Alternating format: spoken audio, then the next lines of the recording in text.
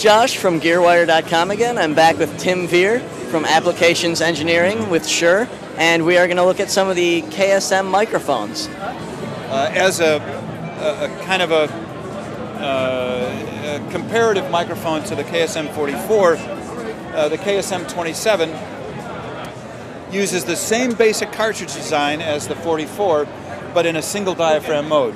So it's basically the front part of the dual diaphragm uh, construction here.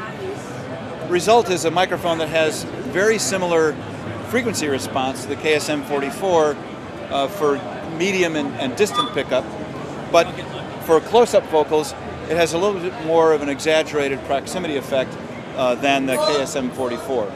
So depending on the vocal quality that you may be trying to achieve uh, in a recording, the KSM 27 gives you a little bit more of that low end uh, guts that you might expect from a standard cardioid microphone. The 44 is a little bit more controlled. So they both have uh, an application, but that's really the fundamental difference between the sound of these two microphones. And of course, the 27 is strictly a, a cardioid microphone, uh, so it doesn't have the versatility and polar pattern that the 44 does, but it's a more affordable microphone and uh, highly regarded for a lot of uh, studio applications, uh, particularly vocals, somewhat for instruments.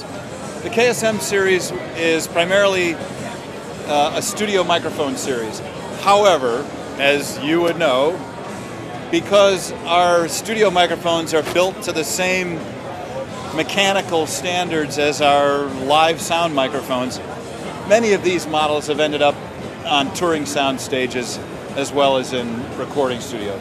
Uh, that's neither good nor bad. It's just uh, something that we have to uh, always keep in mind is that people expect a certain level of durability from Shure products, whether we claim they're a studio product or a live sound product.